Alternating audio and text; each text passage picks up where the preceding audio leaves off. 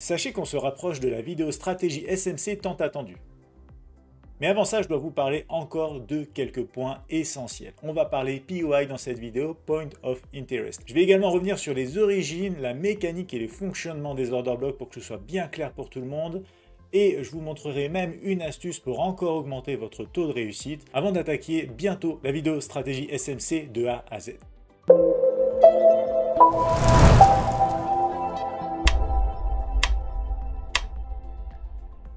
Je vais donc vous parler des zones POI, ici Point of Interest. Vous avez un indice juste ici, on va bien sûr devoir parler des zones de demande et de supply. Alors déjà, une définition. Définition d'un POI, Point of Interest. Ça veut dire quoi concrètement en français? Bah, C'est simple, c'est une zone d'intérêt. Une zone qui a suscité dans le passé l'intérêt des acheteurs ou des vendeurs et qui va encore susciter l'intérêt de ses participants au marché. Donc ici, supply and demand, l'offre et la demande, c'est vraiment comme ça que ça marche depuis la nuit des temps sur les marchés financiers. Et d'ailleurs, ça continuera de fonctionner ainsi. On a forcément une interaction importante entre acheteurs et vendeurs sur des niveaux de prix plus particuliers que d'autres. Niveaux de prix dans lesquels on retrouve des zones supply and demand optimisées dont je vous ai parlé déjà précédemment, les order blocks. Vous retrouverez toujours dans le descriptif de la vidéo la playlist complète SMC, en tout cas qui se complète semaine après semaine. Vous devez vous demander comment identifier des zones POI. Je vais vous montrer ça immédiatement.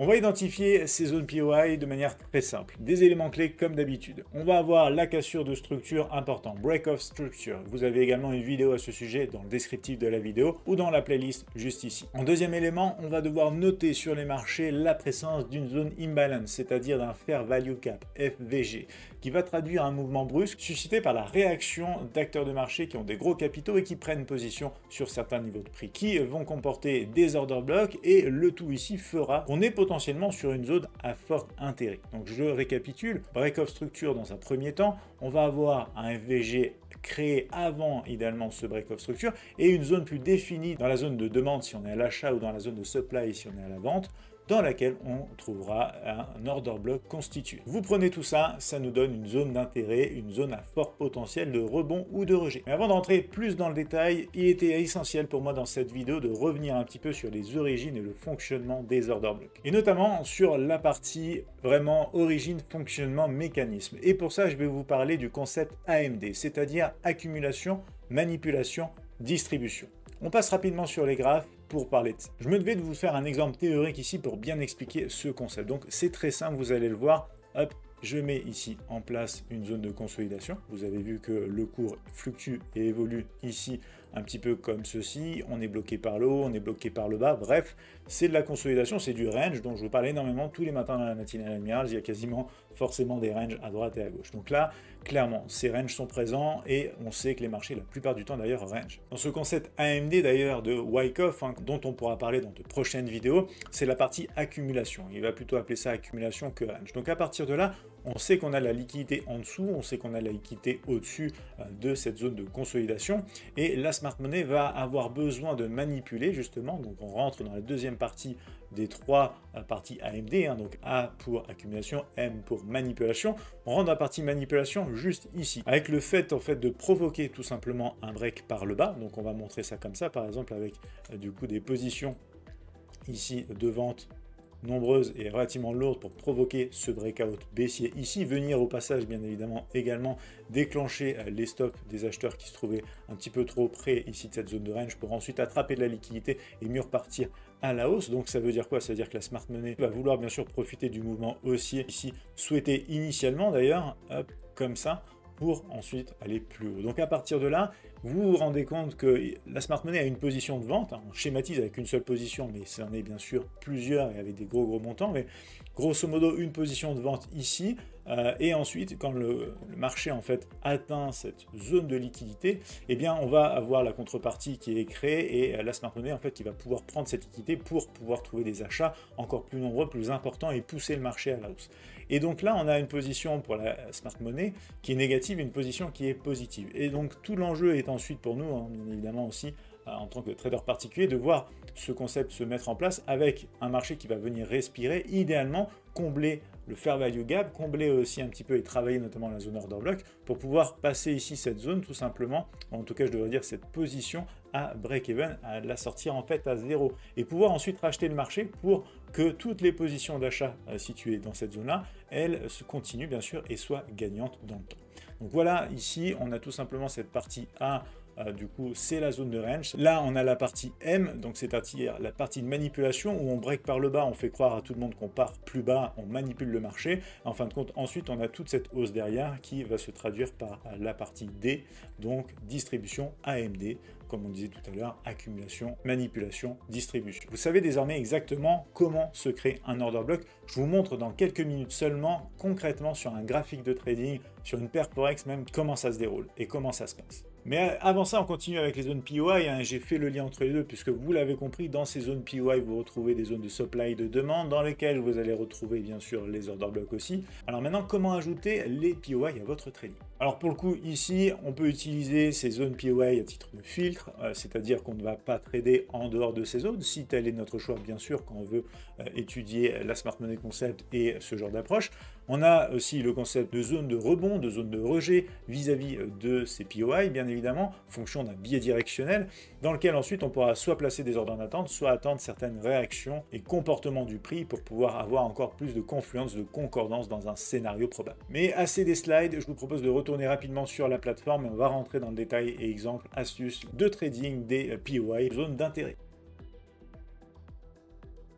On m'a aussi posé beaucoup de fois la question, c'est quoi la différence entre un PY et un order block Je vous montre ça rapidement parce que ça a du sens dans cette vidéo aussi. Donc là par exemple, on a quoi? On a une zone order block, eh bien euh, tout simplement bah, parce qu'on a fair value gap ici, c'est les derniers buy avant le sell, mais vous voyez qu'on n'a pas de cassure de structure en clôture. Donc déjà, ça peut être un des éléments où on se dit, bon, attention ici, on va faire attention à ça. Mais par exemple, euh, je peux vous caler ça aussi ici de ce côté-ci. On a un order block aussi par là, pareil, faire value gap devant, dernier bail avant le sell ici, on casse la structure également.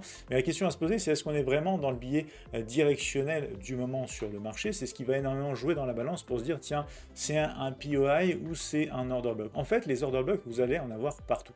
Vous allez en avoir partout, dans tous les sens, en fait, sur les marchés, parce que dès qu'on a, euh, par exemple, ici, du coup la cassure d'une zone de structure, euh, du coup dès qu'on a un fair value gap par exemple devant, donc ici regardez je peux même vous mettre celui-ci hein, à ce moment-là, vous, avez les derniers sels avant les bails ici, vous avez du fair value gap devant, c'est un soi bien sûr, ça rentre dans le concept des order blocks, et pour autant ça ne va pas forcément marcher. Donc c'est ça qu'il faut faire attention, en fait. Vous avez des order blocks dans tous les sens sur les marchés, et la vraie différence en fait entre order block et euh, tout simplement, je vous en glisse encore un ici, euh, que je viens de voir par exemple, dernier up bas avant la hausse ici, on a aussi la cassure de petites structures, on a aussi l'imbalance. Vous voyez, on est traversé comme ça sans se retourner. Donc déjà distinguer des order blocks, qui est un concept comme ça présent sur plein graphique dans tous les sens, d'une zone POI, c'est essentiel. Et comment on va faire cette distinction? On va en fait prendre un billet directionnel derrière qui va être favorable en fin de compte à ce que cet order block soit plus pertinent tout simplement. Donc là, je vais vous donner euh, deux exemples intéressants sur cette performance. On est sur l'USDJPY en graphique 15 minutes. On va avoir ici donc typiquement un mouvement up euh, qui descend comme ça. On va avoir cette zone là assez sympathique aussi en test up ici comme ça. Donc là, qu'est-ce qui se passe? Grosso modo, on va avoir un marché qui descend. Hop, là, il remonte un petit peu, là, il redescend, là, il descend comme ça. Donc on est sur une tendance baissière, là, ça réagit. Et on va voir bien sûr ensuite ce qui se passe. Euh, le temps nous le dira, mais grosso modo, ici, je voulais vous montrer ça parce que on a plusieurs éléments ici même. On va avoir cet élément tout simplement où on a une cassure de structure, break of structure ici. On continue dans la tendance, donc c'est un break of structure. attention, hein, c'est pas un choc, bien sûr, à rappeler si c'est comme ça, vous avez tout dans la playlist en descriptif de la vidéo. Ici, donc break of structure, on a cette zone imbalance juste devant. Alors je vais zoomer pour bien vous montrer ça. Ah, voilà, comme ça, la zone imbalance, on l'a juste devant. Ça va être cette petite zone ici, voilà, comme ça. Vous voyez, devant l'order block.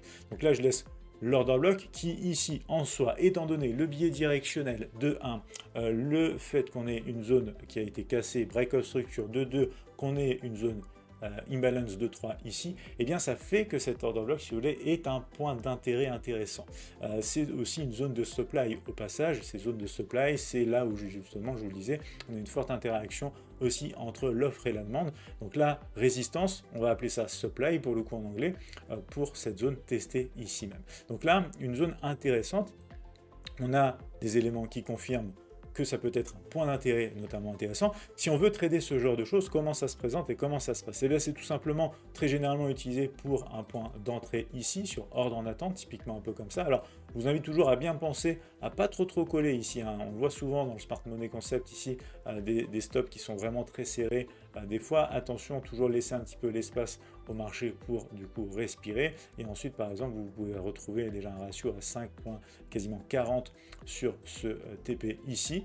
Mais rappelez-vous, je vous ai parlé aussi dans cette vidéo d'une astuce que j'allais vous montrer pour augmenter vos ratios. Et c'est très simple, on n'a même pas besoin forcément de descendre sur euh, des unités de temps inférieures. Regardez, je vais juste ici rajouter la middle line de cette zone et vous allez voir que en mettant l'ordre en attente plutôt sur la middle line justement de cette zone order block, on passe de 5.4 à 10 de ratio, ce qui n'est pas du tout négligeable. Alors, ce genre d'approche, et c'est toujours pareil, quand vous voulez réduire votre stop loss pour augmenter votre ratio, vous allez euh, du coup devoir faire des concessions. Des fois, le scénario ne va pas forcément se présenter. Euh, des fois, vous passerez à côté du trade. Mais quand ça se déclenche, bien sûr, vous avez la possibilité d'avoir une rémunération sur opération nettement plus sympathique aussi. Donc voilà, l'astuce ici, c'était ça que je voulais vous montrer. Donc là, c'est un exemple d'une zone d'intérêt POI bien évidemment, dans laquelle bien sûr bah, en fait on est en plein sur un order block, mais parce qu'on a de bonnes conditions, c'est un POI.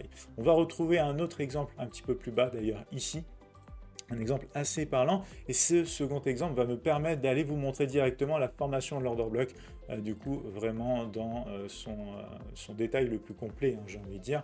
Regardez ici on a ici le dernier mouvement de hausse avant la baisse du coup de ce niveau là donc on a aussi un break of structure par ici, on casse le creux, on continue comme ça. Et ensuite on continue, on continue, donc on crée en même temps de la liquidité. Un des concepts que j'ai abordé dans la playlist SMC qui est essentiel aussi, je vous invite à regarder les vidéos, essentiel à comprendre pour la vidéo stratégie SMC qui vous attend prochainement. On va donc avoir sinon un retour en zone. Alors là, j'ai déjà le prix médian d'afficher, mais je vais déjà regarder cet exemple avec vous où on va retrouver vraiment le mécanisme de la formation d'un order block. Alors pour ça, je vais descendre sur du 1 minute. On va aller voir exactement ce qui se passe dans cette zone ici. Donc ça, c'est l'origine de l'order block, on est d'accord. Donc une fois que c'est fait, je peux vous le montrer bien sûr, donc là c'est très pratique, mais il euh, faut savoir que ça se fait bien sûr en temps réel. Vous allez avoir quoi ici? Première étape, bien évidemment, la zone de consolidation, c'est-à-dire la période accumulation zone de manipulation. Ici, le M, c'est cette mèche ici qui vient chercher ces sommets par là. Et ensuite, on a la distribution. La distribution, bah, c'est tout le mouvement derrière qui descend, qui descend, qui descend. Et du coup, euh, c'est euh, exactement ce qu'on a vu dans le schéma théorique tout à l'heure. C'est vraiment comme ça qu'un order block se construit sur le marché. S'il y en a qui sont intéressés par les concepts plus avancés de Wyckoff, on pourra faire des vidéos euh, du coup dès l'année prochaine, bien sûr, dessus aussi. Mais je voulais vous montrer ça, ça me semblait important aussi pour bien comprendre bien évidemment le concept de la smart money et notamment des stratégies, stratégies qui vont bientôt arriver sur la chaîne YouTube. De retour sur le 15 minutes, ici c'est la même chose que tout à l'heure, hein. typiquement on peut placer un ordre en attente à l'entrée de la zone, ici, par exemple avec un stop un petit peu au-dessus de la zone, en recherchant les creux précédents aussi, euh, ça nous donnerait quoi du 8,58, c'est encore en cours comme scénario, et euh, sinon même on peut pousser à du 15,85 de ratio si on prend la middle line, c'est-à-dire les 50% dans cette zone order block. Exemple de hausse aussi à l'aide d'un POI et euh, dans un contexte bien sûr que je dois rappeler, on a ici un marché qui est en tendance haussière, c'est indéniable. À partir de là, on peut étudier le marché. La cassure de structure, elle se fait ici, donc on peut étudier ce qui se passe un petit peu par là, euh, vous allez voir que là, on n'a pas concrètement de fair value gap. Ce qui se passe un petit peu en dessous, c'est déjà nettement plus intéressant avec du coup le dernier sell avant le buy. Alors, je remets juste les mains ici euh, pour que ce soit quand même bien précis. Voilà, comme ça. J'écarte la zone et euh, du coup, vous voyez donc la zone imbalance juste devant, pas de toucher entre la mèche point haut, bougie 1 et bougie 3, point bas. On a donc cette zone qui est à la fois une zone de demande, dans laquelle on est encore plus précis avec l'order block, et euh, du coup qui est suscité par des critères qui donnent plus de poids à ce genre de choses. Et je vous rappelle ici, donc c'est quoi? C'est break of structure qu'on a ici, et c'est le fair value gap qu'on a juste devant l'order block. Donc là, je peux vous glisser ça encore une fois plus en BOS. Hein. Euh, le fair value gap qui est juste ici, donc c'est la petite zone juste devant. Pour clair pour tout le monde, je vais vous la mettre dans une autre couleur. On va mettre ça par exemple en bleu. Donc voilà, ici, hein, vous avez la zone gap. Vous avez ensuite la zone order block, donc cette zone order block qui est retestée. Pareil au passage, hein, du coup vous avez dû noter pour ceux qui sont habitués désormais à lire ça comme ça, on a la création de liquidité. On y reviendra dans la vidéo stratégie. Et là, on a donc aussi voilà l'ordre en attente ici qui est possible par rapport à l'order block avec le stop juste en dessous, le TP euh, ici jusqu'au sommet par exemple, ça nous donne 2.6. Et si on raffine un petit peu ça sans spécialement descendre sur des unités de temps comme je vous l'ai montré dans la vidéo order block 2.0, là on passe à 5.6 déjà de ratio avec donc ordre en attente dans un setup qui est comme ça. Donc voilà vraiment la différence hein, des order blocks, on en a partout sur les marchés littéralement partout. Euh, on en a même ici contre tendance là et là, etc. Mais la différence d'un POI, c'est pour ça que ça s'appelle comme ça, c'est un point d'intérêt, c'est une zone d'intérêt, c'est qu'on est dans un billet directionnel favorable, c'est qu'on a des arguments, une, zone de demande à l'achat, une zone de supply à la vente, dans laquelle en plus on peut trouver de la concordance avec euh, du coup des choses intéressantes comme un break de structure qui explique aussi euh, la zone, un fair value gap qui montre qu'il y a eu un gros mouvement drastique important et euh, qu'on a des ordres à venir combler à un moment donné aussi, et les order blocks aussi, euh, du coup, pour plus de rebonds. J'espère une fois de plus que vous avez aimé euh, cette vidéo. N'hésitez pas à liker, partager, commenter, bien sûr, pour qu'on fasse de plus en plus de vidéos en trading et sur d'autres concepts même possibles que la smart money. Je vous retrouve avec grand plaisir très vite dans les prochaines vidéos. Ça va devenir notamment de plus en plus intéressant et concret.